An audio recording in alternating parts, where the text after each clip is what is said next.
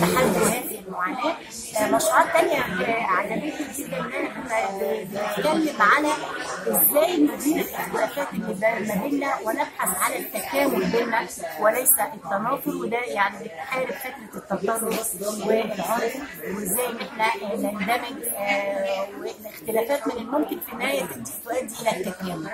آه، بعض المشروعات التانية برضو ركزت على آه، أشياء في المجتمع من الممكن إن إحنا نعيد تدويرها ونخلق منها نماذج آه، تشغل الشباب و- وقدموا لنا نماذج كويسة جدا آه، ناجحة للشباب قدروا إن هم بإمكانيات بسيطة يخلقوا لنفسهم مجال للعمل ويفرضوا نفسهم على سوق العمل فكلها قضايا مرتبطة بالشباب مرتبطة بالمجتمع آه، مرتبطة بالمشكلات الحالية اللي إحنا بنعاني منها ومرتبطه كمان بتوعية الطلاب لمواجهه هذه المشكلات والأقلام. ومشروعات قومية آه، مهمة زي مشروع الثروة السمكية آه، وإيه آه، ال- يعني هذا المشروع إزاي بن- بنعرض ضمن مشروعات قوميه متعدده عرضوها الطلاب.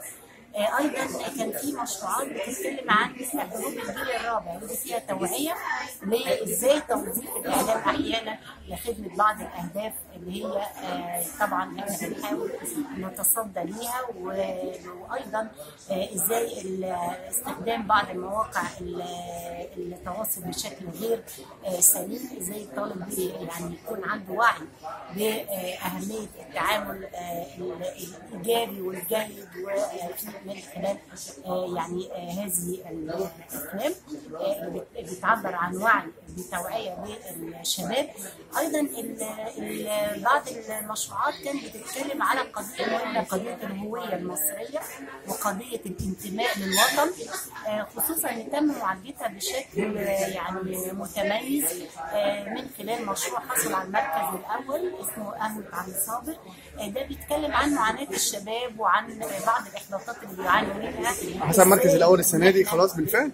بالفعل حصل السنة دي على المركز الأول دون مساعده حصل على المركز الأول آه، لأنه بيتكلم عن إزاي ننتمي للوطن إزاي الشباب آه، تدي الأمل وإن هم ما يعني ما يستسلموش لاي تحديات أو مشكلات بتواجههم. إن هم لازم يتخطوا هذه العقبات وبننمي فيهم روح الانتماء للوطن وده شيء إيجابي ومهم جدا. آه، إحنا النهارده بنحتفل بمشروعات تخرج طلاب كلية الإعلام آه، دفعة السنة دي انتجت مجموعة آه، متميزة جدا من المشروعات والحقيقة إنه ال- القيمة الأساسية في مشروعات التخرج لطلاب كلية الإعلام إنها مشروعات مرتبطة ارتباط كبير جدا بقضايا معاصرة مرتبطة باحتياجات المجتمع وبتعبر بالفكر عن فكر واعي ومتميز للطلاب آه، وده اللي هو ظهر في العشر مشروعات قدمها طلاب كلية الإعلام خمس مشروعات فيديو وخمسة راديو. والحقيقة إنه كمان هذه المشروعات بتتميز إن الطالب الطالب هو اللي بيقوم بإنتاج كل المراحل المختلفة لأعداد مشروع التخرج بدءا من طبعا الفكرة والمعالجة والتصوير وكل العناصر الفنية. إحنا حريصين في كلية الإعلام إن إحنا نستخدم إمكانيات الكلية والتجهيزات الموجودة عندنا تجهيزات متميزة. الطالب بيستخدم هذه التجهيزات اللي بيتدرب عليها طوال العام الدراسي آه، بيتدرب إن هو ينتج بنفسه أفكاره. آه، هو اللي بيصور هو بيعمل المونتاج من- خلال آه، مجموعة من المشرفين من داخل الكلية والاستعانه بخبراء لمناقشة الأفكار وإعطاء الخبرة العملية.